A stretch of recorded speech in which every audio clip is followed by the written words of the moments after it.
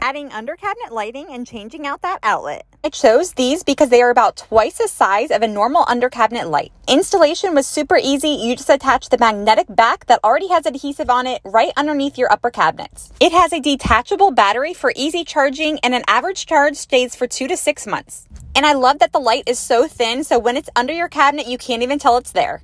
The lights automatically turn on in the dark when motion is detected, and after 15 seconds of no motion, they automatically turn off. And then changing that white outlet to blend in with the backsplash. First step is to turn off the breaker. Then remove the old outlet. And Leviton makes 20 different colors, but I chose navy blue to match my backsplash. And now I'm just retaching the wires using the screw terminals on each side of the receptacle. You just want to make a C shaped and have it go clockwise so that when you're screwing it in, it actually gets pushed into there rather than counterclockwise. And then just re-secure your new outlet into the box. The cover just snaps right into place and I love that it doesn't have any visible screws so it makes it nice and seamless.